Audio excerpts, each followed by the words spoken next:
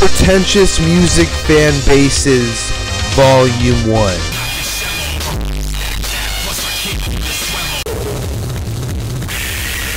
Noise rock fans, are you okay? I feel like there's two types of people who listen to noise rock. Kind of like the Fantano indie hipster guys that perceive themselves as some sort of like misunderstood genius artist type. Or like some sketchy Midwest type of motherfucker who like sniffs glue outside of Del Taco. There's a place inside my ass.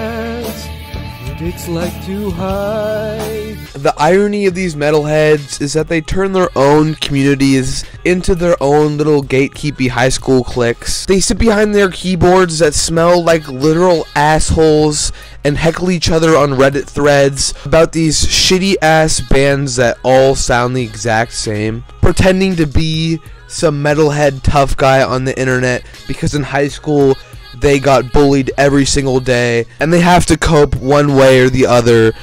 Sucked his dick, went straight in my asshole. Two huge sacks and a big ass. A 15 year old white kid who wears a Carhartt beanie. Uh, guys, I'm sorry. I'm gonna have to admit, I was one of these kids once upon a time. Dude, Whole Lotta Red is Carti's Yeezus. Shout out Pavement. You know, I don't know anyone in this band, but God, mother fucking damn, do they have some of the hottest fans out of any fan base. And listen, I've really tried to get into these bands like Car Seat Headrest, Pavement, Modest Mouse.